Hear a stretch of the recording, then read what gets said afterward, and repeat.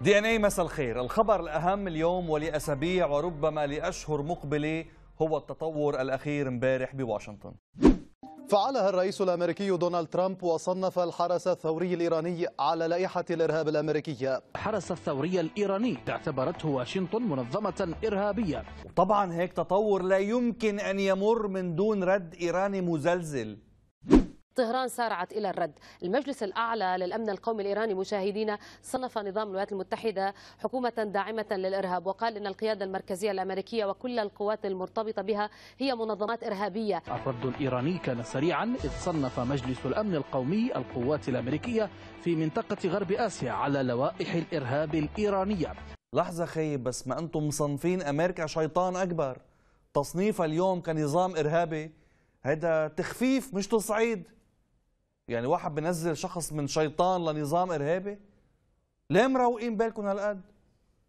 بعدين شو شو يعني ما فهمت أنا يعني شو التبعات لهذا الرد المزلزل؟ ممنوع ترامب يشتري سجاد عجمه ممنوع يأكل فستق يوم الأحد؟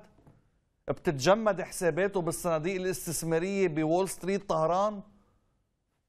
شو؟ منيح يعني منيح ما طلع شي مسؤول إيراني قال والكلام بيرجع لأصحابه أصلا. مان شو يعني رد مزلزل وإيران ردت بالمثل؟ بعدين أه، ليه هالقد معصبين؟ عشو زعلانين؟ عشو مشغول بالكم بعد العقوبات؟ أكثر من مرة آه، كان هناك تواصل من قبل القوات الأمريكية مع قيادات بالحرس. في أكثر من منطقة على آه، أكثر من مكان على امتداد جغرافيا المنطقة. وبالتالي عندما يصدر هذا القرار كيف سيكون هناك تنسيق بين آه، ال- القوتين القوات الأمريكية وقوات الحرس الثوري؟ أبو السوس قصة كبيرة هيدي.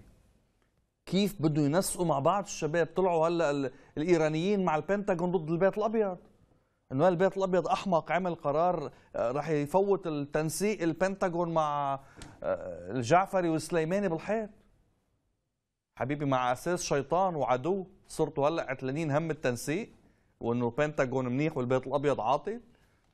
تنسيق بين الجيش الأمريكي والحرس الثوري.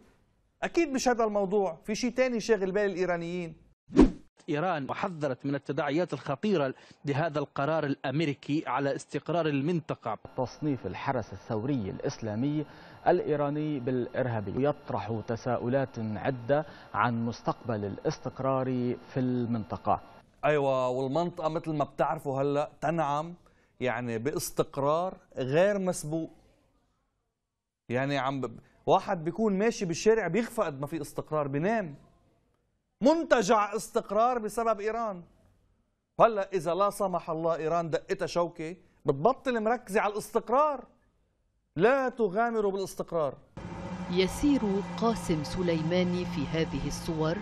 في الجبهات القتالية الأمامية في مدينة حلب. في العراق قاد سليماني بحسب وكالات إيرانية المعارك في منطقة جرف الصخر شمال بابل ثم مدينة آمرلي بمحافظة صلاح الدين ومعركة الفلوشة يشرف سليماني على ميليشيات الحشد في المحور الغربي للموصل. هيدي المنطقة بمخيلة إيران بسبب أدوار قاسم سليماني والحرس الثوري الاستقرارية بينما هي هيك بالواقع. يسير قاسم سليماني في هذه الصور في الجبهات القتالية الأمامية في مدينة حلب. في العراق قاد سليماني بحسب وكالات إيرانية المعارك في منطقة جرف الصخر شمال بابل ثم مدينة آمرلي بمحافظة صلاح الدين ومعركة الفلوشة يشرف سليماني على ميليشيات الحشد في المحور الغربي للموصل. هذا هذا الاستقرار اللي, اللي إيران خايفة عليه بسبب وضع الحرس الثوري على لوائح الإرهاب. لا شو شغلة؟ بعدين ليك سؤال.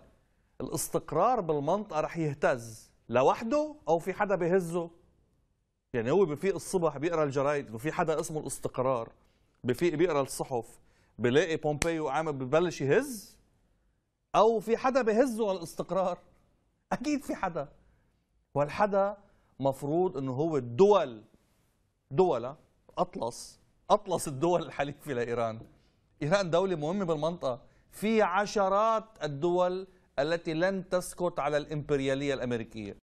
الناطق العسكري مشاهدينا باسم كتائب حزب الله العراق جعفر الحسيني أكد أن المقاومة العراقية ستكون كتفا إلى كتف مع الحرس الثوري الإيراني في مواجهة أي مستجدات في المنطقة. ما تتخذ من إجراءات ضد الحرس الثوري تشمل المقاومة العراقية باعتبار أن المقاومة العراقية هي جزء يرتبط بالحرس الثوري الإيراني دعما وتسليحا وأيضا إشرافا. المقاومة العراقية اللي هي جزء من الحرس الثوري حبيبي إذا في سبب لتصنيف الحرس الثوري كمنظمه ارهابيه فهو بسبب ناس مثل جنابك يعني أنت اليوم مفروض لمصلحة إيران تغيب عن السمع مش تقعد تاكد اللي قاله بومبيو لازم تقعد ببيتك تسكر طفي تليفونك ما تحكي مع مرتك حتى. ما شي حكومة تحكي.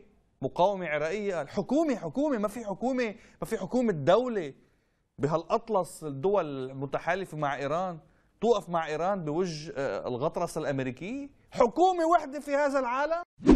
أكد مصدر رسمي في وزارة الخارجية والمغتربين أن سوريا تدين بشدة قرار الإدارة الأمريكية ضد الحرس الثوري الإيراني. وقال المصدر إن الإجراء الأمريكي هو وسام شرف واعتراف بالدور الريادي للحرس الثوري الإيراني. يا حبيبي يا مصدر يا حبيبي. وطبعا مين أكثر من سوريا بيعرف الدور الريادي للحرس الثوري؟ مين أكثر من حمص وحلب وحما بتعرف الدور الريادي للحرس الثوري. ليك الريادية. ورش إنماء وأعمار. ورش ورش. نهضة عمرانية بقيادة الحرس. حامل مسطرة وحاطط قلم ورا دينته وماشي بيبرم من ميلة لميلة بيرسم بخط خيط كذا. بعدين نهضة ثقافية. أنتوا هيدا مفكرينه دمار لا يا حبيبي هذا تنقيب عن الآثار بباطن الأرض. جرف سوريا باعتبار بده يشوف يعني آثار بلاد ما بين النهرين. جرفة. بحث عن آثار. الحقيقة الدور الريادي للحرس الثوري مثل ما اجى بالبيان السوري واضح وأوضح ما يكون بسوريا.